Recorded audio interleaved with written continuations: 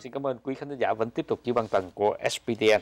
Tiếp tục chương trình sáng hôm nay là một hình ảnh rất là đẹp ở tại à, cảng Pearl Harbor là chân châu cảng ở tại Hawaii vào cuối tuần vừa qua. Quý vị nghe đến chuyện này, quý vị chắc chắn đem lại chúng ta cái không khí của đời thời đệ nhị thế chiến và cuối tuần vừa qua hình ảnh nào đẹp nào ở tại chân châu cảng quý vị đó là hình ảnh bắn pháo bông ở tại đây để gọi là mừng cái ngày mà chấm dứt đệ nhị thế chiến. Và trong cái uh, Pearl Harbor thì đối với người Hoa Kỳ đây là một cái sự kiện lịch sử mà người Hoa Kỳ và lịch sử Hoa Kỳ không thể nào quên.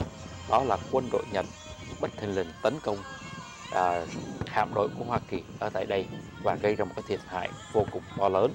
Cho đến giờ này vẫn còn những cái truyền thuyết có những chiếc tàu cho đến như chiếc tàu Arizona vẫn còn nằm chìm ở trong lòng vịnh của uh, uh, Pearl Harbor. Nhưng mà không có trục vớt lên và người ta vẫn còn truyền tụng nhau những câu chuyện như là người ta vẫn còn nghe những tiếng nói kêu cứu những cái tiếng mà đập vào cái thành tàu. Khi mà chiếc tàu này chìm mà không thể nào mà cứu được những người còn sống sót bên trong. Và trên mạng quý vị đây là một cái hình ảnh mà người Hoa Kỳ đã tưởng niệm cái sự chấm dứt đại diện thế chiến. Ờ, đại nhị thế chiến chấm dứt một phần là tại người Nhật năm 1941 đầu tiên là tấn công vào Pearl Harbor tại trên châu cảng. Hồi đó là chết 2.403 người Mỹ và làm bị thương hơn 1.100 người.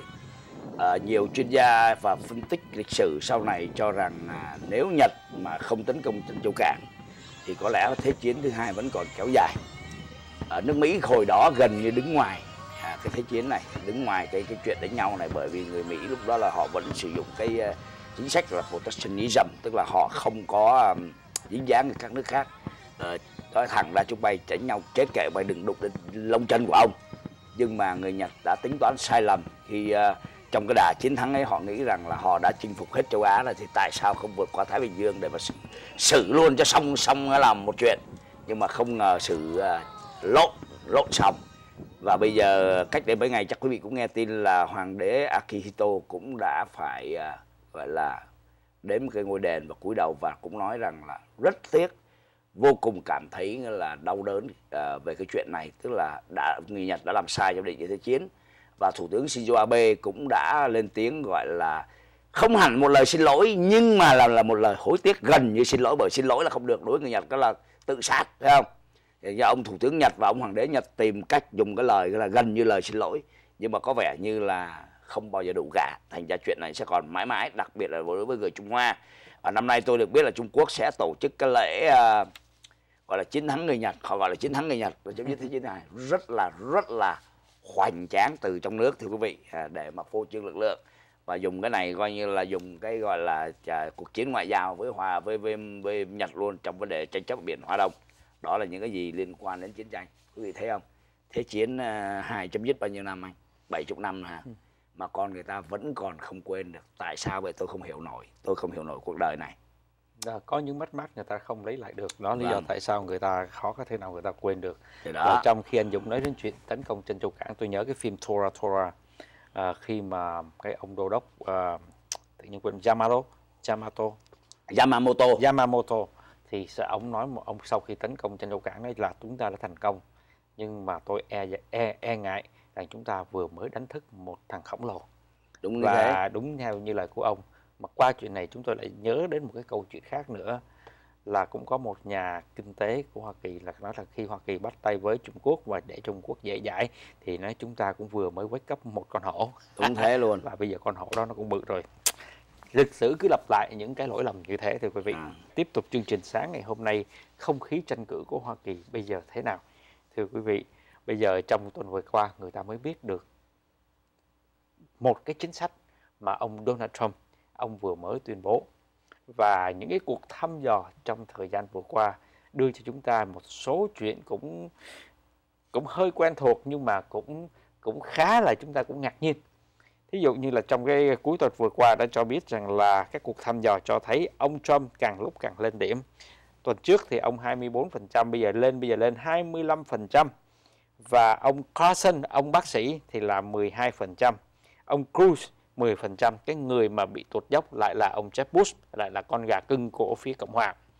và ông Donald Trump trong cái cuộc phỏng vấn vào cuối tuần vừa, vừa qua thì ông nói rằng là thứ nhất ông tôi mà làm tổng thống thứ nhất là tôi trục xuất hết tất cả danh di dân tộc và tôi sẽ ngừng lại cái chương trình của tổng thống Barack Obama và chấm dứt cái chương trình mà tự động cho trở thành công dân Hoa Kỳ của các đứa con của các người uh, di dân lậu ở tại Hoa Kỳ. Tất cả phải về lại bên kia hết rồi sau đó làm một cái thủ tục khác đi qua bên đây. Đó là quan điểm của ông Trump. Và về nói chuyện ISIS thì ông nói rằng là ông sẽ tấn công không cho uh, chúng nó giữ cái nguồn dầu hỏa để mà tạo ra thành cái nguồn tài chính cho cái khối ISIS. Đó là quan điểm của ông Trump. Và trong cái cuộc tranh tranh cử thưa quý vị bà Hillary Clinton thì cũng đang nhức đầu về cái chuyện các email thì bà nói rằng tất cả những email mà tôi có tôi đã nộp hết tất cả lại cho phía ờ, Bộ Ngoại giao và FBI và cho đến bây giờ thì bà Hillary Clinton vẫn coi như là người à, dẫn đầu của phía dân chủ với 49% và kế đó là ông ờ, Bernie Sanders. Thì ông Sanders thì trong ờ, những ngày vừa qua là ông tuyên bố là ông sẽ tấn công và ông sẽ tấn công mạnh vào các tổ chức mà đem lại những cái sự kỳ thị ở tại Hoa Kỳ. Và đó là cái tình hình hiện tại bây giờ trong các vòng các phía ứng cử viên. Và sáng ngày hôm nay, ông Donald Trump cũng trở thành một cái hiện tượng mà truyền thông, đó là chuyện gì anh Đỗ Dũng?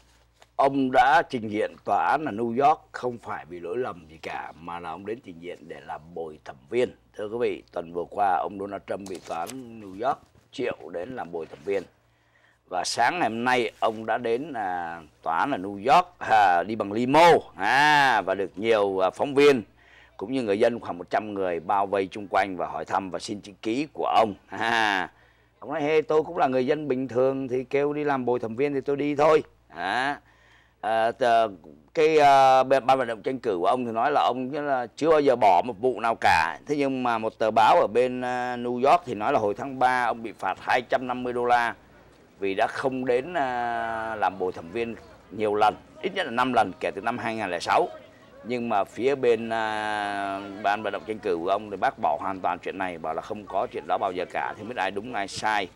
Mà chuyện các à, gọi là những nhân vật nhớn ở Mỹ đi làm bồi thẩm viên thì chuyện đó không có gì gọi là lạ. Mới đây nhất thì có cựu tổng thống George W. Bush là Bush con đó à, cũng trình diện ở một tòa án ở tại Dallas. À nhưng mà vô đó thì ông lại không được chọn. Hay là trước đây uh, uh, ngay cả ông uh, Marco Rubio cũng bị gọi cũng đến nhưng mà ta không chọn. Và ngay cả ông chủ tịch tư pháp viện uh, John Roberts cũng từng một lần bị uh, vào hồi tháng tư vừa rồi chứ không có lâu xa ở tại tòa án ở Maryland gọi hey anh đi làm bồi thẩm viên. À, thì vô tới nơi thì người ta không chọn ông này. Nhưng mà cái vấn đề đây người ta muốn nói ra là gì? Dù anh ở đâu anh ở chức vụ nào chẳng nữa nếu đi gọi là bồi thẩm viên là phải đi không đi tức là anh chống lại tòa là anh sẽ có thể bị phạt và có thể trong một số trường hợp nặng là có thể ở tù luôn chứ không phải không à, hồi trước thì có những người à, cũng từng bị gọi đi chẳng hạn như cựu uh, thị trưởng uh, New York là ông Michael Bloomberg hay là bà Caroline Kennedy à, nếu tôi nhớ không là bây giờ đang là đại sứ ừ. của Mỹ tại Nhật đúng không? Vâng. Và ngay cả danh ca mà đâu nào cũng từng bị gọi và cũng vẫn phải đi ra thành ra là cứ đi ra hết đi đó là nhiệm vụ công dân của mình để ra đó ông tòa cho ở không cho ở thì à, tính sau. Nhưng mà gần đây thì nhân tiện này cũng nói luôn gần đây không biết là các tiểu bang khác như thế nào nhưng mà California người Việt chúng ta hay có cái màn à, mát vô là không biết tiếng Anh. Ừ. thưa quý vị tôi làm một cái survey và tôi gặp những người xung quanh quen của tôi. Những người nào mát là không biết tiếng Anh đều bị rớt hết tức là rớt đây là gì? Tức là họ không tin họ vẫn kêu. Bây giờ người Việt Nam đã ở Mỹ 40 năm rồi không thể nói là không biết tiếng Anh được thành ra ai mà dùng cái từ không biết tiếng Anh mà nghĩ là người ta sẽ disqualify mình ta không gọi mình đó là wrong. Bây giờ tòa California anh không biết tiếng Anh anh vẫn đi đi ra đó anh chứng minh cho tôi biết đã. À, là cũng ra là ngồi cả ngày. Rồi họ chọn luôn cho tới lúc mà mình nói chuyện với họ đó lúc đó lộ tiếng Anh mình yếu thì tự động luật sư hai bên và tòa nói thôi cho cô hoặc cho anh đi về. Chứ còn mà mát vô cái đó là nghĩ rằng là họ sẽ không gọi mình là bây giờ là sai hoàn toàn. Bây giờ mấy ông tòa California mấy cũng khôn đúng không? Bọn Việt Nam này chuyên môn chơi cái mừng đó. Không, không thì ờ, các ờ, đại chính trị gia và những cái viên chức vô cùng cao cấp ở Hoa Kỳ cũng như những người nổi tiếng thì đi làm phải đi trình diện để làm uh, tham gia bồi bồi thẩm đoàn. Nhưng mà các người Việt Nam chúng ta còn ngon hơn ừ. chúng các ông đi chúng tôi không thèm đi. Và đây là lại một cái chuyện này chúng ta cũng cần nhắc nhở với nhau. Chúng ta sang Hoa Kỳ để chúng ta được hưởng dân chủ. Mà khi mà người ta đưa chúng ta những phương tiện để mà hành xử quyền dân chủ của mình thì chúng ta lại từ khước. Vâng. Rồi chúng ta lúc mà nào cái này có nhắc trong uh, nào- quốc tịch có nói á. lúc nào chúng ta cũng đứng bên ngoài cái vòng dân chủ của Hoa Kỳ mà lúc nào chúng ta cũng nghĩ rằng chúng ta đấu tranh cho dân chủ. Cái đó Ừ. là một cái chuyện chúng ta cần phải suy nghĩ. Và trở lại trong cái chuyện ông Donald Trump. Ông này là rất là lắm tiền thưa quý vị. Thì trong các cuộc tranh cử mà hồi ờ, của Obama với lại ông Mitt Romney kỳ trước người ta đã thống kê hai ông đã spend gần 1 tỷ Mỹ Kim để mà tranh cử trong cái năm 2008 Năm 2012 2012 xin lỗi quý vị. Bây giờ ông Trump ông nghĩ rằng ông sẽ chơi bao nhiêu tiền anh Đỗ Dung? Ờ, hôm ờ, thứ bảy vừa rồi khi ông đến cái hội chợ tiểu bang ở Iowa à, đáp chức trực thăng có chữ Trump xuống ngon lành gặp một số trẻ em. Đứng chụp hình rồi nói chuyện sau cho một số trẻ em lên trực thăng để bay đi chơi với ông nè. Đây là chiếc trực thăng Trump đó đặc biệt đó ờ, bà Clinton thì đi bằng xe mấy ông ứng cử viên khác đi bằng xe ông này đi bằng máy bay. Đã đáp xuống và đã có cuộc họp báo nhỏ nhỏ ngay tại ờ, ở phi trường liền. thì người ta hỏi ông là ông tịch chi ra bao nhiêu để mà tranh cử? ông bảo chứ tôi bây giờ một năm thu nhập 400 triệu đô la thì chuyện đó chuyện nhỏ. Thì mới người ta mới hỏi tiếp là ông có dám chi tới một tỷ ông nói nếu cần tôi chi tới cỡ đó. À, một tỷ tôi bỏ ra để tôi lấy chức tổng thống vì tôi muốn làm cho nước mỹ này tốt hơn thì thưa quý vị ờ, ông từng nói tài sản ông là trị giá khoảng 10 tỷ nhưng mà theo tờ báo Forbes cho biết thì chỉ khoảng 2.3 tỷ à, 2.9 tỷ mà thôi hoặc hơn một chút là khoảng 3 tỷ mà thôi. Thì ờ, không biết là thực hư như nào nhưng mà đó là lời ông nói ngay tại khi mà ông vừa đáp xuống. Và ông nói là ông Jeff bút bây giờ cái số tiền Jeff bút đó, ờ, nghe nó gây quỹ được hơn trăm triệu thì ông bảo hơn trăm triệu này chỉ làm anh làm cái bù nhìn thôi là bởi vì ý ông nói sao? Tức là dép bút nhận tiền 100 triệu rồi thì sẽ phải nghe lời những người mà cho tiền. Còn ông đó là bỏ tiền ra ông sẽ không nghe lời ai hết và ông sẽ làm một cách rất là độc lập. Đó là tuyên bố của ông Donald Trump thưa Và trong ờ, đầu tuần vừa qua chúng ta nghe là các ứng cử viên uh, phía Cộng hòa thì họ hơi đổi thôn không tấn công Donald Trump mà họ quay sang tấn công bà Hillary.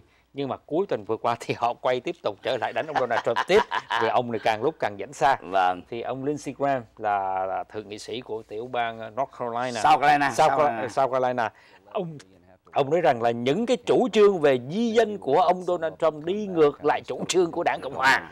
À, bây giờ chúng tôi cần phiếu của người Latino mà tại sao ông lại đi là đuổi người ta đi về đó bây giờ ông Lindsey Graham lên tiếng như thế và à, ông cũng nhắc lại cái chuyện mà Donald Trump gọi là dám xúc phạm một anh hùng như ông John McCain và nói trong à, uh, thép về cái uh, ứng cử viên của Cộng hòa thưa quý vị thì bây giờ ông ứng cử viên thống thống đốc tiểu bang Ohio John Kasich vừa nhận được một cái sự ủng hộ rất là quý báu đó là ông được nhận được cái sự ủng hộ chính thức của thống đốc tiểu bang Alabama.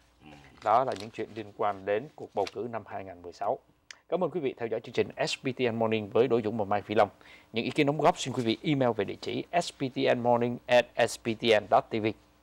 Chúc quý vị một tuần lễ mới, nhiều niềm vui và chúng tôi hẹn gặp lại quý vị trong chương trình ngày mai.